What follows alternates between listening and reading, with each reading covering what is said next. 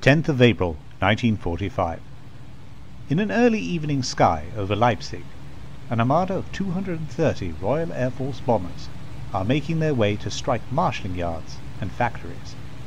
It is still daylight, the RAF having switched from nighttime raids, as air superiority has been virtually achieved. Yet, there are pockets of resistance, still determined to stave off the inevitable. And on this day is yet such an encounter. Only this time, an almost forgotten event is about to transpire.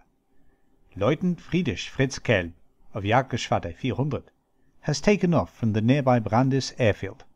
The aircraft is the highly volatile Messerschmitt 163 Komet, feared by both the Allies and the Luftwaffe crews alike. However, this is no ordinary Komet. Nestled in its wings, an experimental weapon is now being operationally deployed for the first time. For Kelb, this mission will entail tactics that are slightly different from the usual with the tiny rocket-powered aircraft. Ordinarily, with the few-minute fuel supply, there is only enough time for one, perhaps two jousts into the concentration of bombers, firing the powerful 30mm Mk108 cannons. On this occasion, there are no cannons fitted, as an even more powerful weapon is nestled within the wings of the aircraft. Aiming for the bombers, Kelb passes underneath, which triggers the weapon automatically. A far more powerful punch is delivered, and it seems the hapless Lancaster has been destroyed. This is the first operational use of the Sondergerät 500 Jägerfaust, or Hunter's Fist, and this nightmarish weapon seemingly might offer an answer to the overwhelming Allied onslaught. So what exactly was this weapon? How was it used? And why has it been almost lost in the annals of history? To answer all of this, it is necessary to look at the development and operational usage of the Komet itself, and why such an unconventional weapon would be used with such an unconventional aircraft. The Komet came into operational use at a time when it was increasingly clear that defeat was certain. After a considerable development process, initially with a glider concept, to refinements to the design of the aircraft itself, the new Komets were assigned to Jagdgeschwader 400, Komets having been experimented previously with the test unit Erprobungskommando 16, or Test Command 16. Given the complexities of the aircraft, the extreme speeds and the inherent dangers of the fuel and landing method, highly skilled and experienced pilots were selected. These were under the command of the veteran Major Wolfgang Späte, and new tactics had to be devised to make the best use of such an unorthodox aircraft. Indeed, devising these methods were fraught with inherent dangers not found with conventional aircraft. Being the first, and thus far only production, Raketenjäger, or rocket fighter, the Komet would utilize an incredibly corrosive and highly explosive fuel source. C-Stoff, primarily methanol and hydrazine, would be used as the propellant, with T-Stoff, primarily hydrogen peroxide, would be used as an oxidizer. This combination, which resulted in a number of horrific accidents, pushed the tiny Komet to blistering speeds. With the ability to reach an unparalleled 40,000 feet in three minutes from rocket motor ignition. However, the blistering speed as well as fuel consumption and capacity limitations meant that the Komet could only be realistically deployed as an interceptor. Accordingly, the weaponry installed and tactics which would need to be adopted had to factor these limitations. Under Späte's watchful eye, the experienced pilots of Jagdgeschwader 400 would develop what would become the familiar jousts of the Komet upon the masses of bomber formations which seemed relentless in their almost daily attacks. At first, the Komets were armed with the potent Waffenfabrik Mauser MG 151 20mm cannon in the wing roots, with 80 rounds per gun. However, this was deemed unsatisfactory, and the even more powerful Rheinmetall Borsig Mk 108 30mm cannons would be installed, and this would be the standard armament of the Komet. As before, these would be installed in the wing roots. Although a larger caliber, the Mk108 had a more compact design and could deliver a more powerful punch in a weapon package in approximately half the size of the MG151.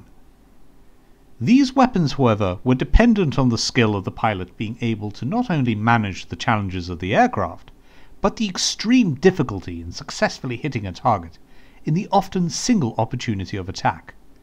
With that expended, the pilot would be extremely vulnerable, as with fuel used up, he would attempt to glide back to base, with the danger not only from the bombers themselves, but escorting fighters pouncing upon that precise moment of vulnerability. Thus a new development was born, in which it was hoped that a solution could be found to overcome these challenges and bring down as many bombers as possible. Applying experience already gained in scenarios like Wilde Sau or wild boar operations against RAF night bombing formations, it was in these operations that the lethal Schräge Musik configuration was first deployed.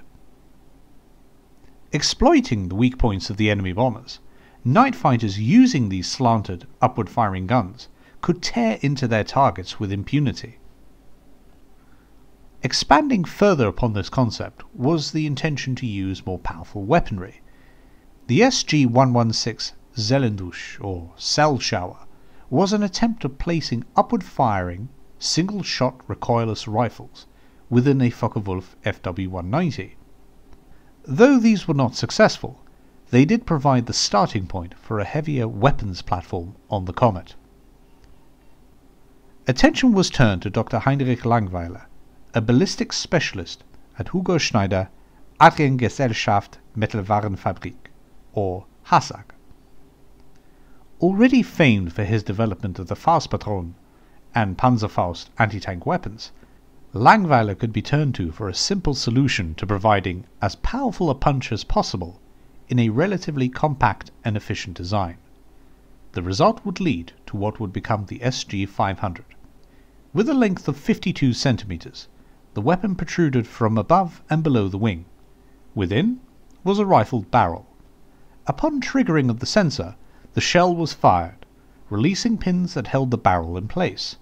Thus, the barrel would be ejected downwards, with the shell firing upwards. Given the desperate shortage of materials at the time, the weapon was made as simply and cheaply as possible. Unlike the earlier Rheinmetall designed SG 116, in the case of the SG-500, the caliber would be increased to 50 mm. Testing began with a Focke-Wulf 190, fitted with the SG-500 tubes, and tasked with flying underneath the target, a sheet of canvas around 40 meters wide, suspended from two poles 25 meters high from the ground. Although the rebounding barrels off the ground nearly struck the aircraft, the test was successful. At this point, though, the overall situation for Germany was dire. Kelb elected to test the weapon in combat himself, and would finally get the opportunity on the 10th of April 1945. That day, the bomber armada consisted mainly of Royal Canadian Air Force squadrons, 134 Avro Lancasters from 405, 419, 424, 427, 428, 429, 431, 433, and 434 squadrons. 90 Handley Page Halifaxes from 408, 415, 420, 425, 426, and 432 squadrons, with 6 de Havilland Mosquitoes from 105 Squadron. Some of those squadrons were Pathfinders, particularly the Lancasters of 405 Squadron, as well as the Mosquitoes of 105 Squadron, and were attached to No. 8 Pathfinders Group. Employing the new strategies for the Jägerfaust, Kelb made his diving approach towards the formation of Lancasters.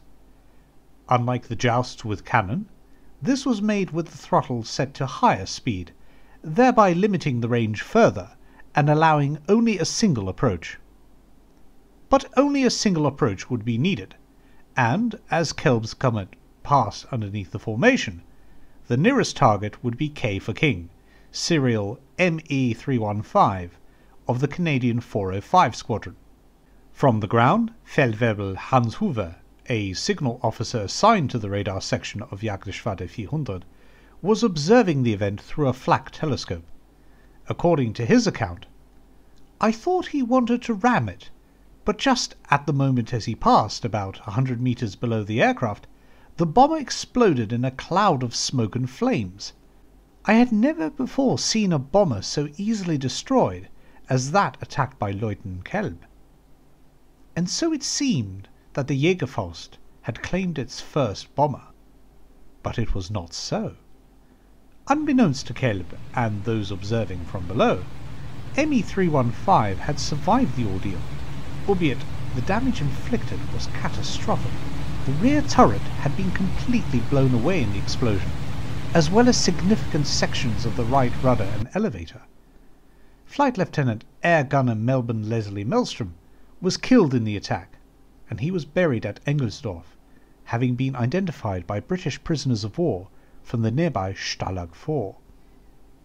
Amazingly, the pilot, squadron leader Campbell Halliburton Mussells, managed to wrestle and maintain control of the seriously damaged aircraft, as seen in the following report. In the target area, immediately following release of target indicators, aircraft was attacked by an enemy fighter identified as an ME 163. The attacking aircraft approached from the rear and above, and with one burst completely shot away the rear turret, rudder, and elevator. Damage was also caused to the H2S set and mid upper turret. The rear gunner, Flight Lieutenant Melstrom, was in his turret when the attack commenced, and is believed killed. This officer is missing, no further information available. A number of Mustangs who were acting as fighter escort moved in closer to the disabled aircraft and covered it until it reached the front lines. The pilot, due to the fact that he had only partial control of the aircraft, ordered the wireless operator, navigator, air bomber, and visual air bomber, except for the mid upper gunner, to bail out over RAF station Woodbridge. Had not the mid upper gunner been injured, the whole crew would have bailed out. The pilot was successful in making a reasonable landing at RAF station Woodbridge. All members of this crew, with the exception of the rear gunner, are back at this unit. What is most remarkable about this story is that Mussells was able to bring the battered Lancaster home. Two aircraft were lost in the raid, one to flak, and the other hit by a falling bomb from an aircraft higher up. This was the first and only operational use of the weapon, and the final operational use of the Komet. There would be no further usage of the Jägerfaust, as, ironically, the HASAG factory was destroyed in that massive raid on the 10th of April. What became of Fritz Kelb? With the apparent end of the Komet, and the Reich's defenses effectively crumbling, Kelb would transfer to Jagdgeschwader 7, flying the jet Messerschmitt Me 262. In the late afternoon of the 30th of April 1945, four Soviet Yakovlev Yak 9s of the 107th Guards Fighter Aviation Regiment would encounter Me 262 opposition and in the ensuing combat, one of the jets would be shot down. The pilot, presumed to be Kelb, managed to escape the cockpit of the doomed aircraft. However, his parachute did not deploy. So what is the lasting legacy of the SG-500? Having arrived so late in the war, and being implemented in an aircraft with severe limitations, it is difficult to see how much more of a difference this weapon could have made. Perhaps deployed in larger numbers, the terrifying and destructive capability may have impeded the bombing raids somewhat. But in early 1945, there is no doubt that it would only be a matter of time before the inevitable capitulation. Nevertheless, there is no denying the novel approach, the skill of the Komet pilots, and unique attributes of the Jägerfaust would enhance an already extraordinary aircraft.